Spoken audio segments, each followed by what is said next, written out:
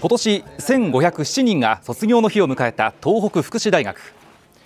式典では日本ゴルフ界の星蝉川泰果が特別表彰を受けました。おめでとうございます。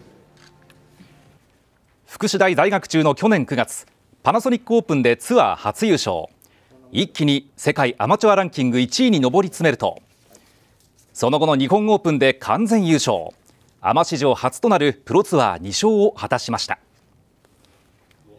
松山英樹や金谷拓実など福祉大の名だたる先輩の後を継ぎプロゴルファーとして羽ばたく蝉川。その決意を語りました。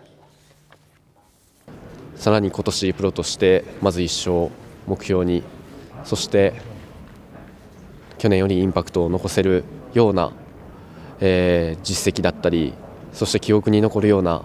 選手になれるように頑張っていきたいなと思っています。